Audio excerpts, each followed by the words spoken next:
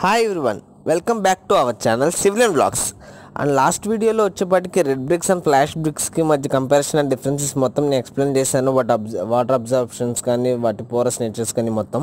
And ఈ వీడియోలో వచ్చేపాటికి మంచి టాపిక్ ఏంటంటే అసలు కాలమ్కి అండ్ స్టట్కి ఉండే కామన్ డిఫరెన్సెస్ అంటే రెండు మనకి సేమ్ కంప్రెసివ్ మెంబర్సే బట్ రెండింటి మధ్య చాలా చిన్న వేరియేషన్స్ ఉంటాయి. అవి ఏంటి అనేది ఈ వీడియోలో నేను ఎక్స్ప్లెయిన్ చేయబోతున్నాను. సో వీడియో అనేది ఫుల్గా చూడండి చిన్నదే ఉంటుంది.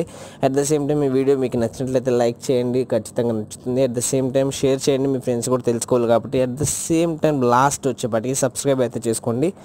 అండ్ టాపిక్లోకి వచ్చేపాటికి ఫస్ట్ ఆఫ్ ఆల్ కాలం అంటే ఏంటి? కాలం అంటే జనరల్గా ఇప్పుడు ఈ వీడియో చూస్తున్న ప్రతి ఒక్కరికి తెలిసే ఉంటుంది. కాలం అంటే ఏంటంటే ఒక compressive member of a frame structure మనకి బీమ్స్ అంటే ఏంటంటే ఒక హారిజెంటల్ స్పాన్స్ uh, అనుకుంటాము. కాలమ్స్ అంటే వర్టికల్ స్పాన్స్ సో కాలమ్స్ వాటి ఒక పొజిషన్ అది వర్టికల్ అనేది. బట్ దాని వర్క్ ఏంటి అంటే కాలమ్స్ అనేది మనకి ఏదైతే కంప్రెసివ్గా అంటే టెన్జైల్ అంటే సాగతీయడం. కంప్రెసివ్ అంటే పైనుంచి వచ్చే ఫోర్స్ ఆ కంప్రెసివ్ మెంబర్స్లో వాటి యొక్క లోడ్స్ అనేది క్యారీ చేసుకుని కింద దానికి ట్రాన్స్ఫర్ చేయడానికి ఈ కాలమ్స్ యూజ్ అవుతాయి. అండ్ ఇవి ఎక్కడ అంటే ఫ్రేమ్ స్ట్రక్చర్స్లో. ఫ్రేమ్ స్ట్రక్చర్ అంటే మనకు ఒక స్లాబ్ దానికి పక్కన ఉండే బీము దాన్ని ఉండే కాలము. మొత్తం ఒక స్కెలిటన్ టైప్ కనబడుతుంది అనమాట ఒక ఫ్రేమింగ్లో. వీటిని ఫ్రేమ్ స్ట్రక్చర్స్ అంటాం. తర్వాత చూద్దాం. ఇప్పుడు స్ట్రట్స్ అంటే చూద్దాం. స్ట్రట్స్ అంటే same compressive members of a truss structure. ఇందాకది frame structure ఇది truss structure.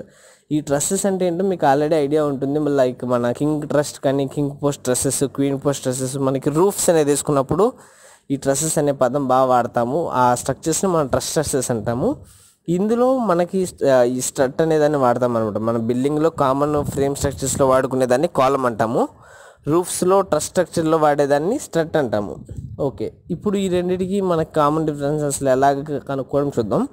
Length effect by ఒక కాలం తీసుకున్నామంటే దాని length by thickness or diameter. రౌండ్గా ఉన్న కాలం అయితే దానికి డయామీటర్ ఉంటుంది కాబట్టి length effective of the column by thickness or diameter greater than three వస్తే అది ఒక column in case length effective by at the same time దాని థిక్నెస్ కానీ డయామీటర్ కానీ లెస్ దెన్ త్రీ వచ్చింది అనుకోండి అది ఒక స్ట్రక్ట్ అవుతుంది అనమాట సేమ్ సేమ్ టైప్ ఇప్పుడు నెక్స్ట్ పాయింట్ వచ్చేపాటికి కాలం మీద వచ్చేపాటికి అది ఏ లోడ్స్కి సబ్జెక్ట్ అవుతుందంటే మెనీ లోడ్స్ మనకి ఒక బక్లింగ్ ఫోర్స్ అనుకోవచ్చు shear force bending moment compressive forces tension forces ఇలా చాలా లోడ్స్ అనేవి ఉంటాయి అనమాట మనకి కాలమ్స్ మీద యాక్ట్ అయ్యేవి.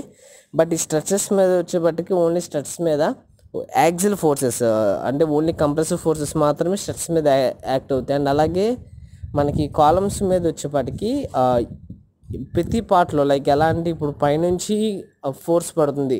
At the same time side నుంచి అడిషనల్ కింద మనం బ్రిక్ వర్క్ చేసినప్పుడు నేను ఎక్కడ ఏదంటే కాలం అనే దాంట్లో ఎనీవేర్ మనకి ఈ ఫోర్సెస్ అనేది లోడ్స్ అనేది అప్లై అవుతూ ఉంటాయి అన్నమాట. కానీ ఇక్కడ ఈ స్ట్రట్ విషయానికి వచ్చేప్పటికి loads are always applied at joint on structure ఏదైతే ఆ స్ట్రట్స్ ఉన్నాయో ఆ స్ట్రట్స్ యొక్క జాయింట్స్లో మాత్రమే లోడ్స్ అనేది అప్లై అవుతాయి. మన కాలమ్స్ వచ్చేపాటికి హోల్ మొత్తం అన్ని సైడ్స్ పడతాయి. దీనికి మాత్రం లోడ్స్ అలా కాదు. ఓకే గైస్ ఐ హోప్ ఈ వీడియో మీకు అర్థమైంది అనుకుంటున్నాను. These are the common difference చాలా చిన్న టాపిక్ కాలం అండ్ స్ట్రట్కి వేరియేషన్స్ అండ్ ఈ వీడియో మీకు నచ్చినట్లయితే లైక్ చేయండి. అండ్ డెఫినెట్లీ సబ్స్క్రైబ్ చేసుకోండి. మీకు నెక్స్ట్ వీడియోస్ కూడా మీరు మిస్ అవ్వకుండా ఉంటారు. And thank you thank you for watching